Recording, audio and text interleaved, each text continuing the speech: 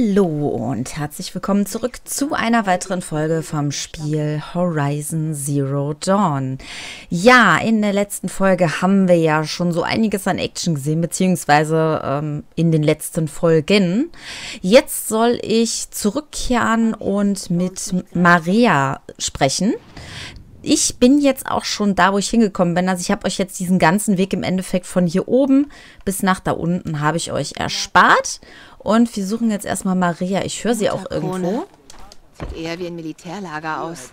Ich wette, dieses Dorf hat schon bessere die Zeiten Heldin gesehen. von Teufelsleid. Komm Nee, her? Mädchen. Da. Ich will dich Lass deine kennenlernen. gläubigen Kinder nicht der Vergessenheit anheimfallen. Bist also Aloy. Der Kriegstrupp hat von dir erzählt. Die Heldin von Teufelsleid.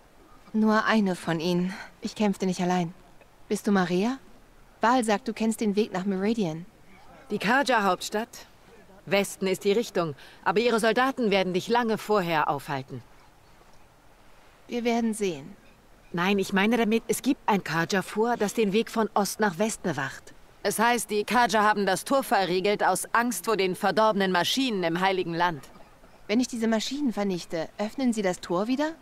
Vermutlich. Aber dir wird niemand helfen können. Wer redet von Hilfe? Du säuberst das Tal. Ohne Hilfe? Ich bin gut am Bogen. Das hoffe ich. Um deinetwillen. Wirklich.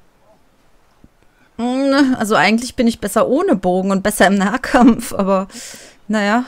Das Karja-Fort liegt also im Westen? Und dahinter Meridian? Ja, die Kaja nennen es Tagturm. Es liegt nicht weit vom verlorenen Dorf. Ein verlorenes Dorf?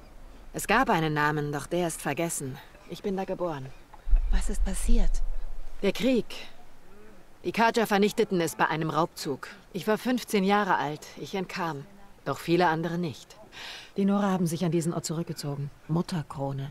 Wir überließen ihnen unser Tal.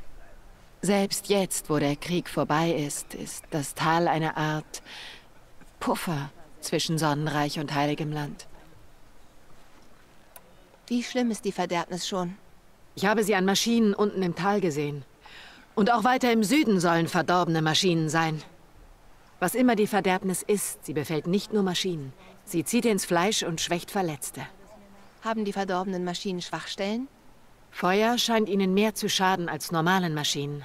Ein schwacher Trost. Diesen Fluch kann nur die Göttin aufheben. Es sei denn, wir finden heraus, was dahinter steckt. Die Mütter haben gesprochen, Aloy. Wir können nur kämpfen und zur Göttin beten. Mutterkrone liegt am Rand der Heiligen Lande, stimmt's? Dann seht ihr bestimmt viele Fremde hier. Ja, nicht hier in unserem Dorf, natürlich, aber unten im Tal. Seit dem Kriegsende dürfen die Fremden unser Tal betreten und Nora handeln mit ihnen, wenn sie wollen. Es ist so eine Art Zwischenort, weder fremd noch heiliges Land. Wenn du neugierig bist, geh zur Jägersiedlung. Es ist kaum mehr als ein Häufchen schmutziger Hütten und Zelte, aber Fremde übernachten dort oft. Klingt, als könnte ich dort mehr über Meridian erfahren. Du kümmerst dich also hier um die Verteidigung. Mit Sonas Hilfe. Obwohl sie Ruhe brauchte. Das wird sie keinesfalls einsehen. Mutterkrone verteidigt sich selbst. Im Krieg hielt es 15 Angriffen und drei Invasionen stand. Wir halten durch. Glorreichen Zeiten gerecht werden zu wollen, hat schon viele getötet. Du weißt es nicht, doch auch ich gewann eine Erprobung. Wie du lag ich sehr weit zurück, suchte eine Abkürzung. Es wurde sehr knapp. Ich kam mit gebrochenem Knöchel ans Ziel. Dies ist keine Erprobung, Maria. Es ist echt. Darum geht's nicht. Der Posten hier in Mutterkrone? Ich wollte ihn unbedingt. Mein Siegespreis. Dem Ruhm der Nora gerecht zu werden, hat mich nicht umgebracht. Doch wenn es so kommt, bin ich bereit. Ich muss jetzt los. Gut. Pass gut auf dich auf, Aloy. Ich hoffe, du findest, was du suchst. Die Maschinen. Sie sind verrückt geworden. Ja. Räume verdorbene Zonen. Dann schauen wir doch mal eben auf der Karte nach. Also wir haben hier eine verdorbene Zone. Oh, und eine in völlig fremdem Gebiet. Verdorbene Zone Level 20. Okay. Das ist natürlich nicht so gut. Wir haben jetzt, was haben wir denn jetzt? Level 11. Pass auf dich. Oha, das ist natürlich äh, krass. Stufe 15. ja, denke ich mal schon, dass wir das schaffen, schaffen werden. Wir müssen ja eigentlich auch nur zwei machen. Stufe 20, ne? Das ist halt doppelt so viel, wie wir jetzt eigentlich haben. Okay, ähm, hier sind auch jede Menge neuer Quests, sehe ich hier gerade. Wieso kann ich jetzt. Ach so, das ist das Äußerste, was ich zoomen kann. Hier sind fünf neue Quests, die ich machen könnte. Ich würde normalerweise sagen, dass wir da erstmal hingehen und die Leute mit den Quests suchen, damit wir unsere Stufe so ein bisschen erhöhen können. Ist der das? Ja. Jetzt haben sie das Tal abgeriegelt. Manches ist für uns nicht ja, das Schnellreisesystem. Ihr seid lustig. Die sagen mir immer nur, dass ich dafür was Spezielles äh, brauche. Du bist die Sucherin, die, die ausgestoßen war. Meine Jagdgesellschaft. Sie ist... Du hast die Mörder bekämpft, nicht wahr? Die von dem Angriff bei der Erprobung. Du hast viele Leben gerettet. Ich wünschte, ich hätte alle gerettet. Hast du... Hast du... Wie weit bist du den Mördern gefolgt? Worauf willst du hinaus? Fürchtest du, deine Jagdgesellschaft wurde getötet? Es gibt Schlimmeres, als getötet zu werden. Was hatte deine Jagdgesellschaft vor? Nach der Erprobung waren wir so wütend. Wir wollten zurückschlagen. Und diese korrupten Maschinen hatten Spuren hinterlassen.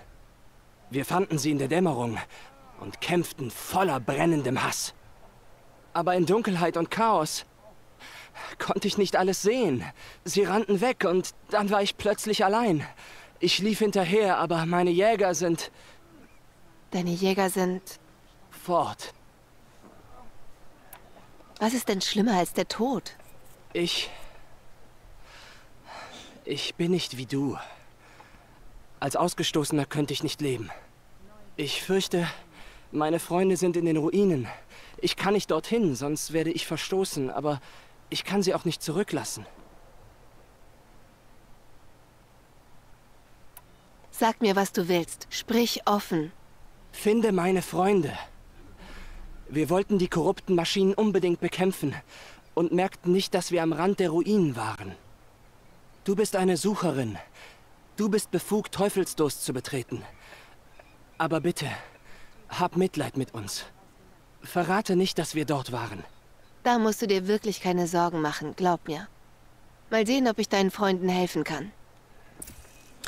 Ja, aber natürlich können wir den Freunden helfen. Karte öffnen, eine Siedlung oder ein Lagerfeuer auswählen erfordert, ja, genau, erfordert eine Schnellreise, äh, Schnellpaket pro Reise auch noch. Eieiei, pro Reise. Ich dachte, man kauft sich dann ein Paket und äh, kann damit so oft reisen, wie man möchte. Das ist natürlich ähm, blöd. Wo wollen wir denn hin? Ähm kann ich jetzt hier gerade nicht sehen. Moment, da muss ich mal eben schauen. Äh, nee, Aufträge. Zuflucht. Auf Karte anzeigen. Wo haben wir denn jetzt X? Linke Seite. Ah, da unten. Okay. Ja, ist noch ein bisschen hin, bis wir dann wirklich da sind. Das heißt, ich muss auf jeden Fall eine größere Strecke hinter mich bringen. Hab ja leider vor einigen Folgen mein Reittier verloren. Das ist ein bisschen blöd. Ich habe unterwegs ein paar Mal versucht, neu, ein neues Reittier zu holen, aber irgendwie funktioniert das alles auch nicht. Ähm, ja, ich habe auch keine Ahnung, wo ich das Reittier überhaupt verloren habe unterwegs. Also ich weiß schon, wo ich es verloren habe, aber ich weiß nicht, wo es jetzt letztendlich ist. Das wird auch nicht angezeigt, was das hier genau ist. Ähm ich weiß auch nicht, was das Blaue jetzt eigentlich für ein Symbol ist. Also wenn ihr das Spiel schon gespielt habt, dann wäre es ganz cool, wenn ihr mir sagen könntet, was das Blaue für ein Symbol ist. Hier gibt es nochmal eine verdorbene Zone, okay. Die ist auch ab Level 15. Könnten wir aber definitiv noch hinkommen. Ich denke mal, dass diese Fallsymbole diese Jagdgebiete sind, die wir ja schon kennengelernt haben beziehungsweise wovon der eine gesprochen hat. Aber das Symbol hier sagt mir jetzt gerade gar nichts. Ich wüsste auch nicht, wie ich das rausfinden sollte. Und das hier, ja, sagt mir im Prinzip auch nichts. Also ich würde sagen, dass wir zur Zuflucht reisen und dass ich dann irgendwann hier rauskomme, dass wir uns dann gleich wiedersehen, wenn ich dort angekommen bin. So, wir sind hier also wieder in dem Gebiet, wo auch der Langhals ist. Hier gibt es nichts zu verstecken. Ich weiß nicht, ob wir noch irgendeinen Gegner kommt. Also ich gehe mal davon aus, dass es hier noch ein Gegner kommt. Hier gab es einen Kampf. Aber wer hat gewonnen? Das ist die Frage. Ähm, untersuche das Gebiet. Ja, das habe ich mir schon gedacht. Aber wo? Was soll ich untersuchen? Moment, da war doch gerade was. Nein. Kriegerpfeile in diesen Maschinen. Das gab sicher eine Massenflucht. Die Maschinenspuren führen in die Ruinen. Ebenso wie Menschenspuren. Die Ruinen? Nehme ich mal an.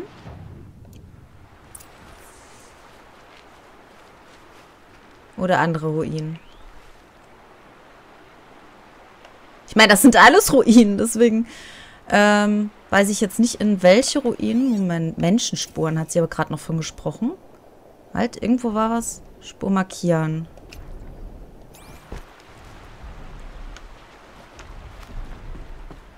Warum auch immer ich die jetzt da markieren kann, aber egal.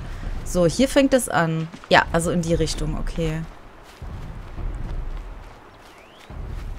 Der Große macht mir jetzt keine Sorgen.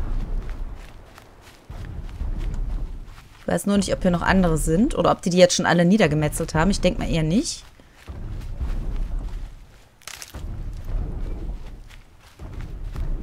So, hier geht's weiter. Erledige die Sägezähne.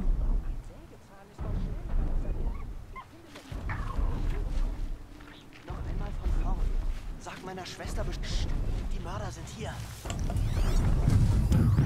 Ah ja, das sind die Sägezähne, okay. Ist noch jemand da? Ach, die sind da oben. Ah, okay, verstehe. Das wäre nur ganz gut, wenn ich dann vorher mal irgendwo hin könnte Ist noch jemand da? und einen rauslocken könnte, aber ich glaube, das befürchte ich, kann ich wohl nicht machen. Ist noch jemand da? Ich muss herausfinden, wie ich mehr Maschinen überbrücken kann.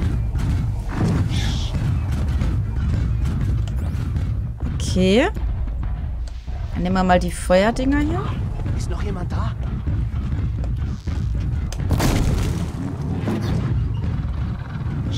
Das bringt wohl nicht allzu viel gegen die.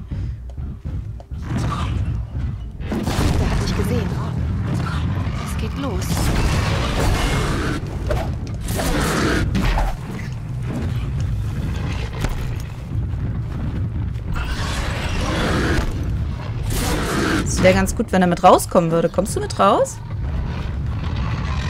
Oh, ihr kommt beide mit raus. Okay.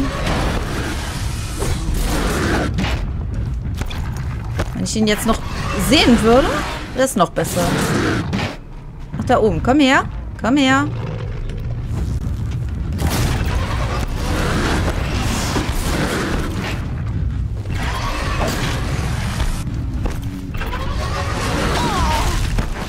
Ja, weich wieder nicht aus. Ich weiß.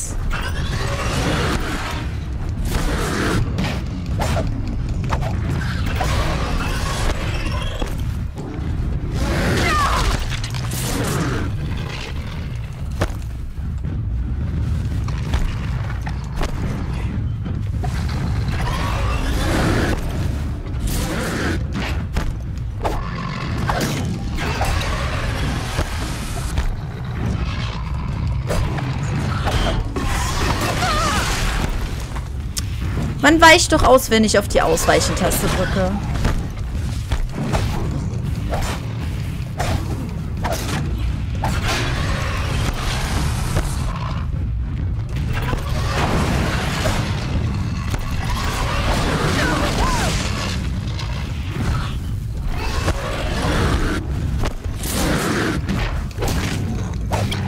Komm schon.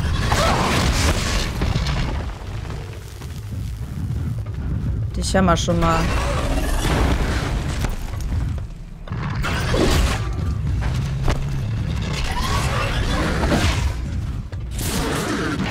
Komm her, seh dich nicht mehr. Och, bleib doch mal stehen.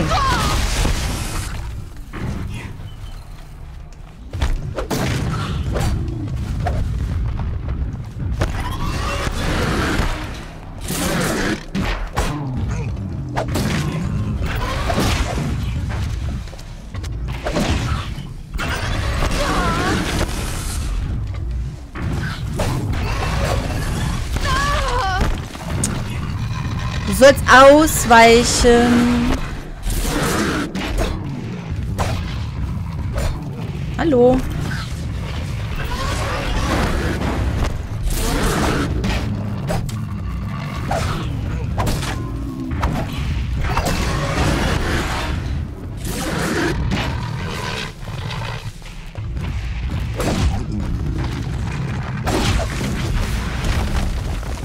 Ah, Geht doch. Mann. Können wir wieder raus? Ja, könnt ihr. Moment, äh, wo war jetzt A? Da. Erstmal wieder Pfeile herstellen hier. Kein Platz mehr. Ah, ich hasse es. Den anderen muss ich auch nochmal eben untersuchen. Das Problem ist, jedes Mal, wenn man ausweicht, weiß man am Ende nicht mehr genau, wo der Gegner steht, weil man irgendwie nichts sieht. Also es ist eine blöde Perspektive, weil das so nah ist. Auf der einen Seite ist es schön, so zu spielen.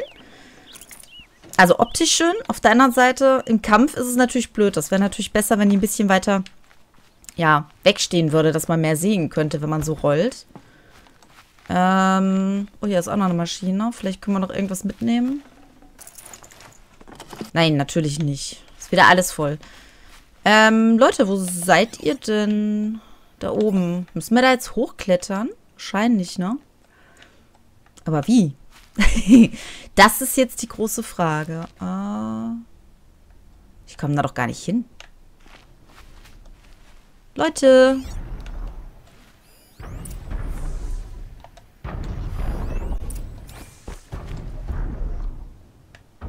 Das dürfte der große sein. Ähm.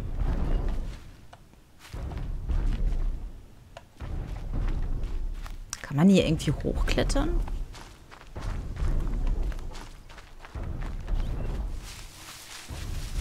Also von außen scheinbar nicht. Da komme ich doch auch nicht hoch, oder?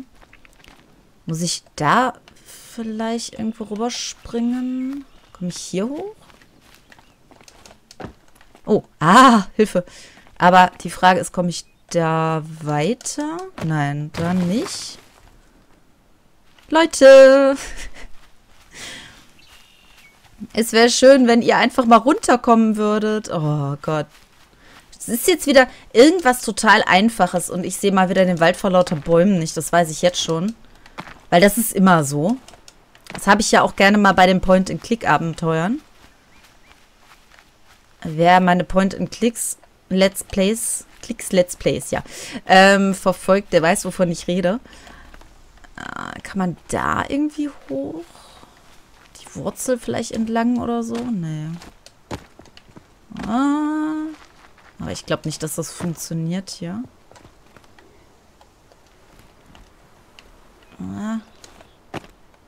Nee.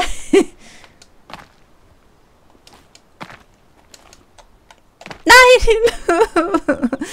Seid ihr denn des Wahnsinns? Moment, die stehen da drauf.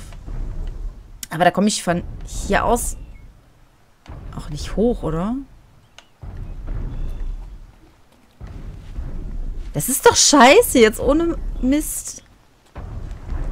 Ja, rede mit Ferl, ja toll. Es ist wahrscheinlich auch gar nicht gedacht, dass ich hier überhaupt hochklettere. Da oben sind die. Aber da komme ich wieder nicht rüber. Die Frage ist... Da komme ich... Ne, pff, das war so klar. Da komme ich auch nicht rüber. Ach, spring doch einfach mal. Mann. Hallo. Ist das dein Ernst jetzt? Geh doch da hoch. Du warst doch gerade schon ein paar Mal da. Kann ich nicht mehr irgendwie mit euch sprechen, Jungs? Das ist gemein.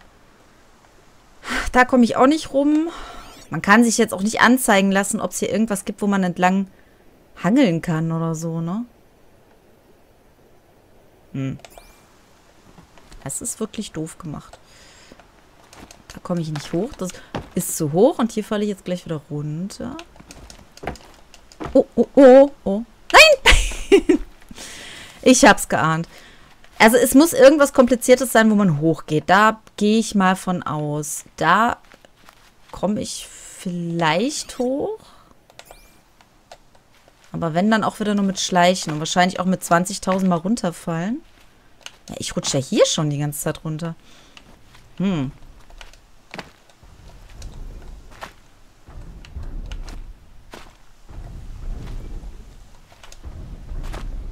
Hier komme ich definitiv nicht hoch. Moment, oder kann ich von dem... Nee. Kann ich von dem Langhals aus vielleicht hier rüberspringen? Nee, oder? Wo ist denn der?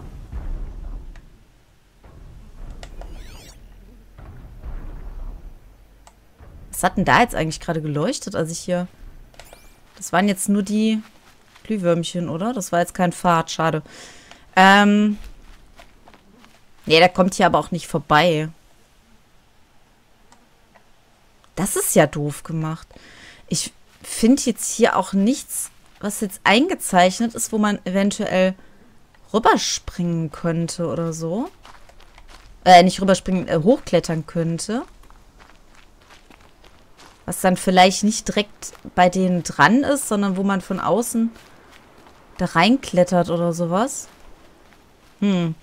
Ja, ich würde sagen, ähm, um das Ganze jetzt nicht länger zu machen, dass ich hier erstmal schaue. Ach, ich sehe auch gerade, die Uhr läuft uns jetzt auch so ein bisschen davon, also beziehungsweise die Zeit. Ich würde sagen, dass ich jetzt erstmal hier schaue, ob ich einen Weg hier hoch finde. Ich meine, wir wissen ja, wo sie sind, nur sie kommen irgendwie nicht runter. Keine Ahnung warum. Vielleicht muss ich die anschießen oder so, keine Ahnung. Ähm, ich gucke mal, ob ich da irgendwie hochkomme und entweder schneide ich das jetzt noch in dieser Folge hinzu oder wir machen da eine neue Folge draus, je nachdem, was da noch alles dazu kommt und ob ich es überhaupt schaffe, da hochzukommen. Ja, und in diesem Fall äh, muss ich sagen, es war doch viel einfacher, als ich gedacht habe. Da ist dann mal wieder die Theorie, ähm, ja, bestätigt worden, die ich aufgestellt habe. Ich bin jetzt hier nochmal wie blöde rumgelaufen und ähm, konnte nichts erkennen und bin dann hier nochmal an diesem Ding vorbeigelaufen. Und wenn man nach unten guckt und nicht nach oben guckt, obwohl, ja, jetzt macht das auch nach oben, wahrscheinlich war ich beim letzten Mal nicht nah genug dran, kann ich mit dem Ferl reden. Ich sag besser nichts dazu, wir reden jetzt einfach mit dem Ferl. Du bist die Kriegerin, die ausgestoßen war. Was machst du hier? Euer Freund Dan bat mich, euch zu suchen. Was macht ihr da oben? Der Sägezahn riss uns die Bündel ab. Äh, mir. Uns. Ohne Waffen war das hier unsere beste Option. Vielen Dank, dass du ihn erledigt hast. Jetzt können wir nach Hause. Eins noch. Du verrätst doch nicht, dass du uns gesehen hast. Habe ich ja nicht. Zumindest dein Freund nicht. Soll ich dir runterhelfen? Wir gehen allein zurück. Versteh das nicht falsch, aber wenn wir mit dir gesehen werden, kommen sie uns noch auf die Schliche. Okay, ja, dann halt nicht. Kehre zu denen zurück. Ähm, ich denke mal, das ist der Typ, mit dem wir eben gesprochen hatten. Ich weiß es ehrlich gesagt nicht. Dann würde ich sagen, dass ich mich nochmal aufmache und wieder zurückgehe und dass wir das dann noch in diese Folge mit reinbringen. Und äh, ja, dann sehen wir uns gleich wieder, wenn ich dort angekommen bin. So, da sind wir. Sie soll gekämpft haben wie ein Sägezahn. Ja. So ähnlich habe ich auch gekämpft. Manches ist für uns nicht schon den greifbar. ganzen Tag wache. Meine Füße schlagen langsam Wurzeln. Äh, der Typ stand doch gerade noch vor mir. Moment, warst du das? Nee, dich kann ich nur grüßen. Hä? Ach, hier bist du. Ich Ach, fand deine Freunde, du weißt schon wo. Sie kommen bald zurück. Oh, danke. Danke, danke, danke. Was für eine Erleichterung. Du verrätst es doch niemandem, oder? Ganz ruhig. Die Stammmütter singen die Hymne der Buße. Ich denke, ihr seid sicher. Das stimmt. Die Hymne ist Sühne für uns alle. Danke. Das habe ich nicht gemeint, aber gut. Ja, und damit haben wir jetzt auch die Zuflucht, beziehungsweise die Quest, die Zuflucht abgeschlossen. Sehr schön. Und wieder eine Belohnungskiste erhalten. Ja, war ein bisschen holprig zwischendurch. Ich habe echt gedacht, ich müsste da hochgehen. Aber ich habe scheinbar jedes Mal, wenn ich nach oben geguckt habe, nicht nah genug an dieser Kiste gestanden. Ja. Dazu sage ich auch nichts mehr. Wir nehmen dann in der nächsten Folge wieder eine neue Quest auf, und zwar eine dieser Nebenquests hier, damit wir noch mal ein bisschen leveln können, bevor wir uns dann ähm, der Hauptquest wieder ja, ähm, zuwenden werden und dann da weitermachen werden, weil wenn da schon angegeben ist, man sollte Level 15 haben, dann sollte man zumindest auch alles Nötige dafür tun, dass man ein bisschen hochlevelt. Finde ich auch ein bisschen schade, dass man so extrem unterlevelt ist, wenn man in erster Linie nur die Hauptquest machen möchte. Aber gut, das hat man ja mittlerweile bei vielen aktuelleren Spielen so. Bei Final Fantasy XV war es ja auch teilweise ganz extrem, dass man erstmal die ganzen Nebenquests machen musste, bevor man dann wieder weitermachen konnte. Ähm, gut, will ich aber nicht drüber meckern, weil die Nebenquests in Horizon sind wenigstens auch sehr gut gemacht, finde ich persönlich. Und ähm, ja, sind für mich so ein bisschen wie, ja, die Hauptquest, normale Quests, wie auch immer. Es geht die Story zwar nicht weiter, aber es sind halt schöne Geschichten erzählt oder auch teilweise aufregende Geschichten und das finde ich persönlich immer sehr, sehr gut, anstatt nur dieses bring mir dies, hol mir das. Ich meine, meistens muss man jemandem helfen, das ist richtig, aber es ist doch etwas abwechslungsreich und das finde ich sehr, sehr gut gemacht. Ja, für die nächste Quest, wie gesagt, sehen wir uns dann in einer neuen Folge wieder. Bis dann. Ciao.